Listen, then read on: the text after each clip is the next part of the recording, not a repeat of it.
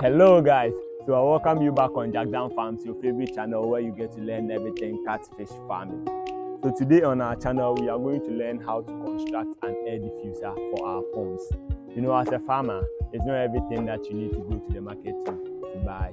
These, these things, these are things you can construct on your own to reduce your production cost. This is a drip irrigation hose and then these are just PVC pipes we need to construct our air diffuser. Before we go on to the construction kindly do all to like and then subscribe if you are a visiting viewer. For my uh, regular viewers if you don't know what an air diffuser is an air diffuser is a device connected to your aerator and then dropped into your pond. What this does is that it helps uh, generate streams of stream of uh, bubbles from the bottom of your pond to the surface of your pond. That helps oxygen to be diffused successfully. What this, uh, what this results in is that whenever the bubbles is created, it allows the oxygen gas pumped through your oxygen generator, which can be an aerator, to be transferred or converted into a, a liquid state, which is termed as uh, dissolved oxygen. So kindly stay tuned as I take you through how to construct a cheap air diffuser. So we are going to need some few items. This is a drip irrigation hose used in agriculture, a drip irrigation hose. These are just PVC pipes. It was waste on my farm and then I decided to utilize them. And then you need a T joint connector. This is a one inch T joint and this is a one inch pipe. And then this is an elbow depending on how you want to uh, construct your weight. What we are going to do is that after cutting the size of diffuser we need, the size of the uh, irrigation, drip irrigation hose to the size that we need, we are going to create a weight to try and then sink the tube right to the bottom of your pond. So we are going to shape it as we want and then try to fill it with sand just to give it a bit of weight to be able to sink the tube to the bottom of your pond. This is very important. So uh, what we are going to do is to just to design it or to shape it as you want. This with this design, I'm going to use the one inch elbow, two of them, and then probably PVC pipes cut into equal length. So this is how it's going to look at after filling it with the sand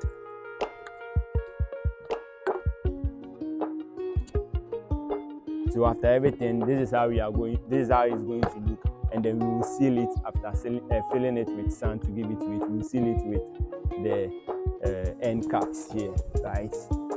Just like this. Just like this.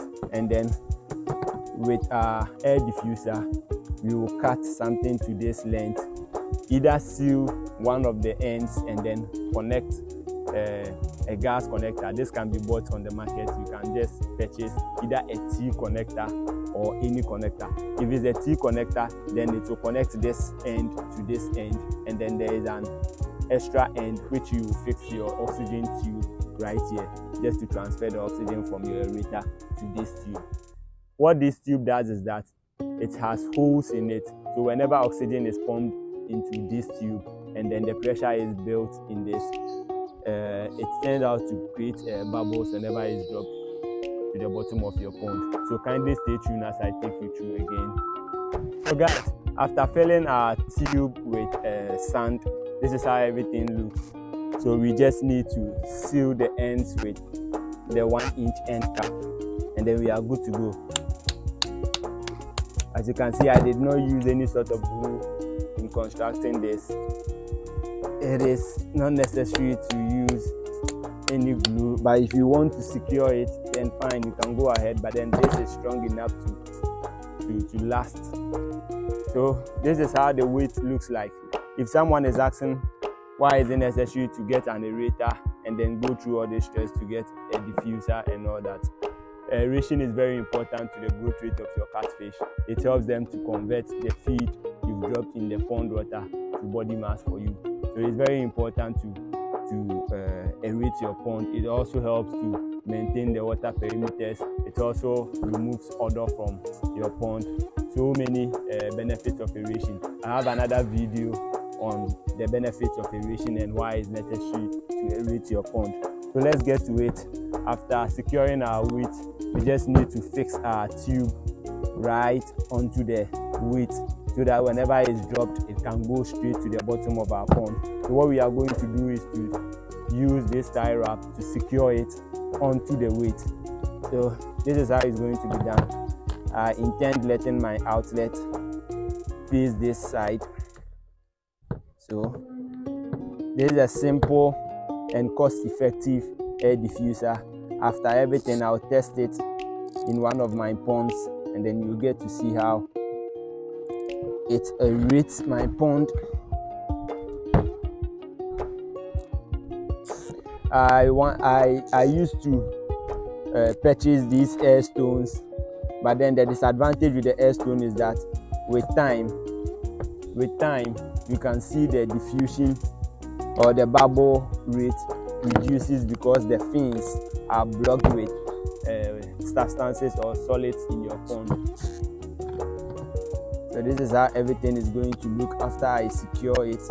You just need to make sure that you don't tight it enough to block the airways of the drip irrigation hose.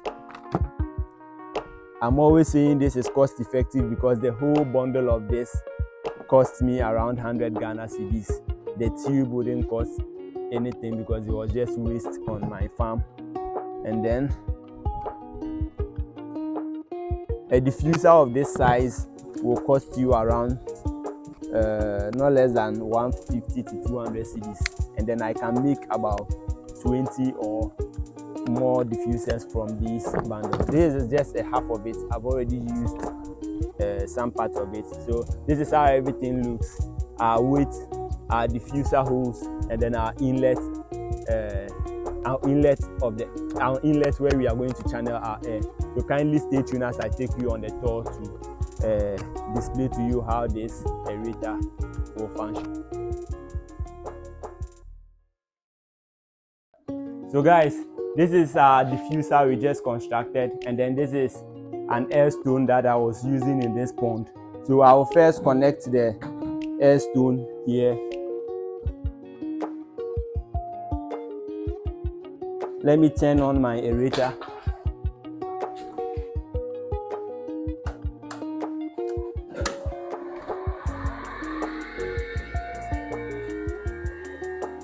You can see how this air stone is blowing.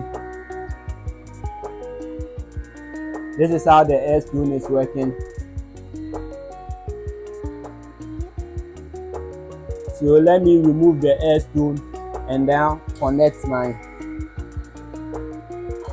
constructed air diffuser and then we'll compare how they both work.